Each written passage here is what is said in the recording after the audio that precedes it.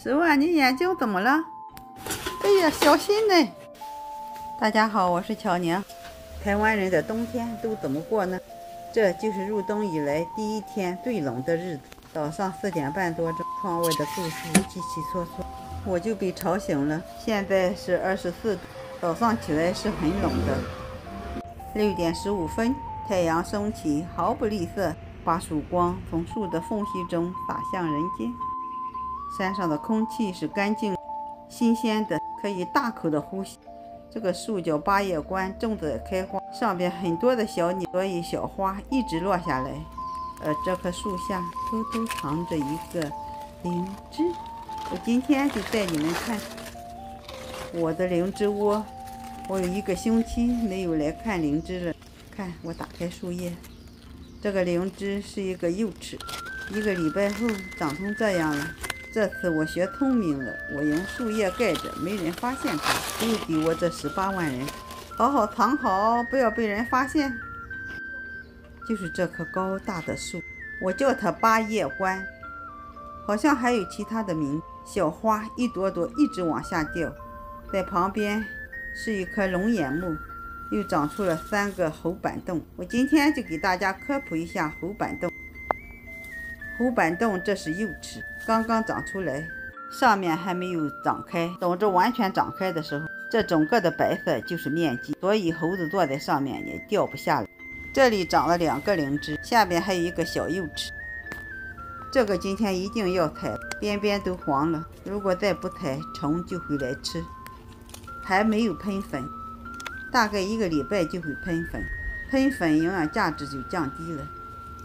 看下雨，反面被水湿到了，还好今天采下来刚刚好。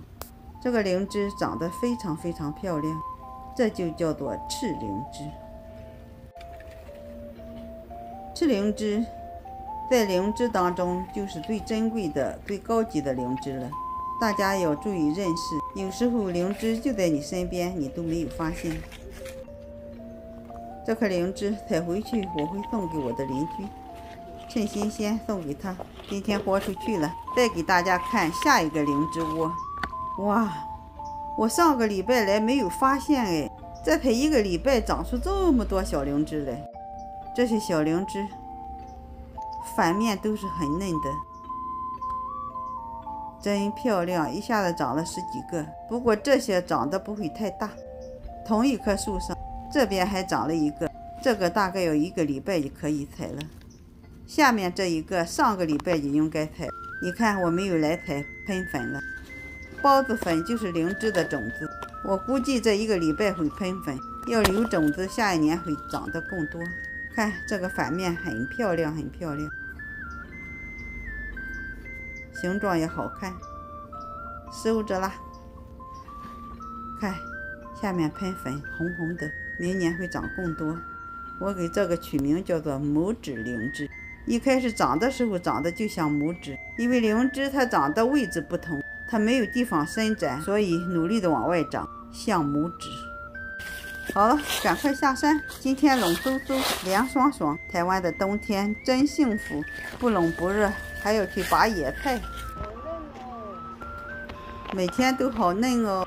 拔野菜就要趁这几天，因为刚下完了雨，一天一个样。住在太平的人想跟我来拔野菜，放一天就比一天老不嫩喽。这里更多哈。我昨天已经吃苋菜包子了。我今天不要苋菜了，我要拔马齿苋。你看这马齿苋，里面很多哎。对呀，我们拔马齿苋吃吧，我喜欢吃马齿苋。都不用拔，用镰刀割就好了哈。嗯对呀。这是巧娘在台湾的冬天生活，过几天就拔荠菜了。这是马齿苋，这是苋菜。哦，你拔了好多苋菜哦！我今天不吃苋菜。有个雪梨的朋友问我：“巧娘，你们的的冬天是怎样？”我们就这样过，这就是台湾的冬天。巧娘在台湾生活，如鱼得水，很开心。回到家里，把马齿苋清洗干净。马齿苋可真的要穿烫一下。马齿苋的作用，大家可以 google 一下，很多的药用价值，特别是养胃。这在家乡，我们都一直吃。马齿苋煮的时候要比苋菜煮的火候大一点。要烫熟。今天我用两种吃法，一种是用大蒜来炒，另一种就是凉拌。马齿苋焯水，水会变得有点红红的，其实这红红的就是营养。我这个带孔的盘子是六十块，是有朋友留言问我在哪里买，就在市场上，用起来非常的方便，只要方便用，贵也是便宜，我是这样觉得。这个跟苋菜不一样，穿烫完了就不能再过凉水了，因为我们要凉拌。马齿苋也可以包包子，但是有一点微酸。锅里加上大蒜，爆香一下。马齿苋本身就是熟的。稍微翻炒一下就好了。如果你胃不好，胃溃疡、胃酸，马齿苋就是胃病的克星。吃起来非常的简单。如果你的胃非常的健康，不用炒就凉拌就好了。胃怕凉就这样炒一下再吃。如果你也靠山比较方便，或者是你有花盆，可以买种子种一点，这个很好长，永远都不会死掉，一年到头的吃。如果胃不好，你坚持吃半年，保证你的胃健康如也。可以配面、配饭、夹馒头吃。常言说偏方治大病，马齿苋本身就是一种中药材。如果吃不完，可以晒干，然后泡发包包子吃。总之，就像构树一样，只要你多吃，保证把你的胃病治好。如果你相信，如果你方便。就可以踩着大口大口的吃，巧娘都试吃给你看，不用害怕，天然的最好。第二种吃法就是用大蒜来凉拌马齿苋，控出了红色的汤汁，像苋菜一样，营养价值的所在。小时候奶奶都把大蒜一下子放搅拌一下，现在人文明，我们都这样蘸着吃。这就是朋友们关心询问马齿苋的吃法，希望大家多多了解野菜，吃出健康。今天好忙，吃完了饭来学习如何给万万做一个脚架，万万们可以站在上面。漂亮哎！先做这一个脸谱。哎，漂亮哎！哎哎，不对，这就是鸟可以站在上面的架子。今天先用筷子来示范学习，大家玩的都好开心哦。好漂亮哈！我学会了，回家给我小万万做。